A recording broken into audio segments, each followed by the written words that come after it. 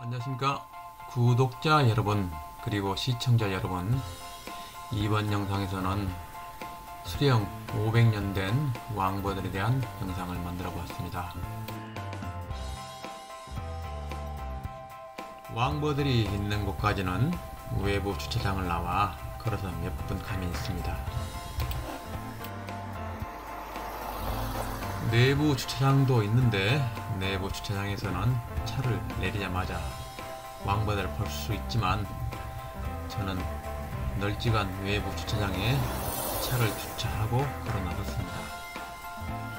오늘은 날이 너무 좋고 제가 가장 좋아하는 계절 봄철에 그것도 계절의 여왕인 5월에 봄나들이 한번 하지 않는 것은 이렇게 아름답게 꾸미느라 창조에 온 힘을 쏟아낸 자연에 대한 모독이라 생각을 하고 모처럼 나와봤습니다. 왕버들이 있는 곳으로 가다 보면 바로 옆 광주호 생태원을 조성하면서 쉽게 되었던 이팝나무의 꽃들이 5월이면 아주 장관을 이룹니다. 모든 가지에 꽃들이 꽉꽉 들어차 피어납니다.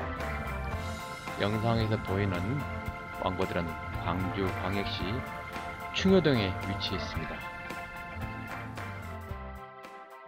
안내판에 적힌 내용에는 높이가 10m 안팎이고 밑동 둘레가 8m 정도랍니다. 나이는 약 430년이고요.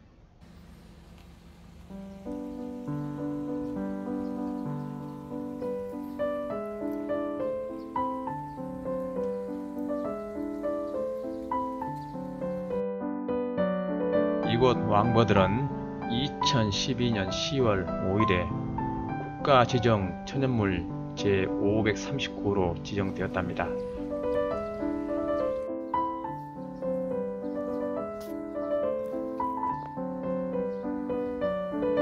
공중에서 내려다보면 앞에 보이는 곳이 광주어 생태원 모습입니다.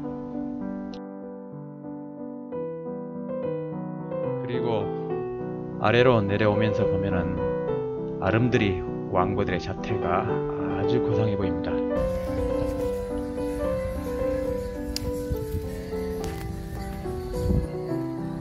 눈앞에 보이는 왕버들의 모습은 말 그대로 용트림을 한다는 표현이 아주 잘 어울립니다.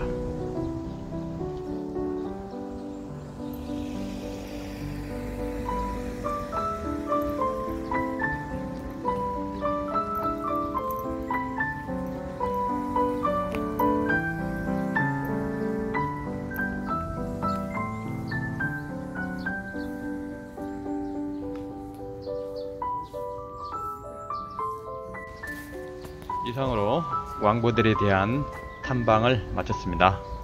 잘 보셨다면 좋아요 또는 구독 부탁드립니다.